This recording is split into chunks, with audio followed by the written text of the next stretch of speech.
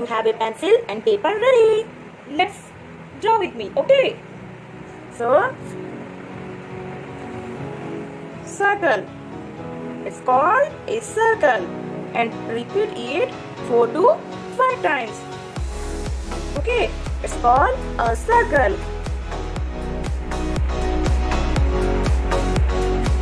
Okay, then here now let's quickly draw another circle and repeat it 4 to 5 times clockwise and anti-clockwise. Clock first you will draw clockwise then anti-clockwise. Clockwise, anti-clockwise. Clockwise, anti-clockwise. Okay, then we are going to learn some ovals. Okay, we are going to learn and draw some ovals. Okay, my dear student. So let's see how to draw some ovals. So my dear student, today we are going to learn some another shapes. We, we are going to draw some ovals. Four times. Like as clockwise or anti-clockwise. Clockwise and anti-clockwise. It's called uh, oval. Oval shape. Clockwise and anti-clockwise. Okay. Then quickly draw.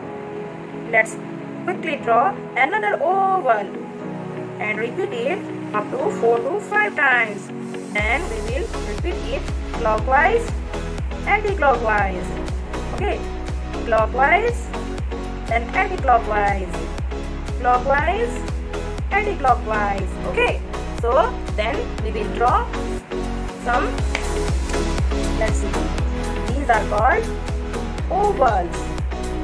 Okay, these are called ovals and these are called circle. Okay, then we are going to learn another shapes. These, these are called triangles. Triangle. Okay. So let's how to draw a triangle. Let's see. We are going to draw a triangle. First we will draw a slanting line, then another slanting line, then we will draw a sloping line. So these are called sorry it's called a triangle okay? It's called a triangle okay? Let's quickly draw another triangle. First we will draw a slanting line another slanting line then sweeping line. We will make a circle with the help of two slanting line and one sweeping line okay? We will draw a triangle shape with the help of two slanting line and sweeping line. Okay, it has three lines. One, two, three. Okay, then we will draw some square. Some square.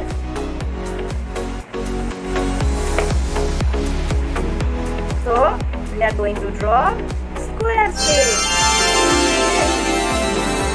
This part is square. Square has four lines. Okay, my dear student. And it has two standing line and two sleeping line. A square has four lines and two sleeping line and two standing line.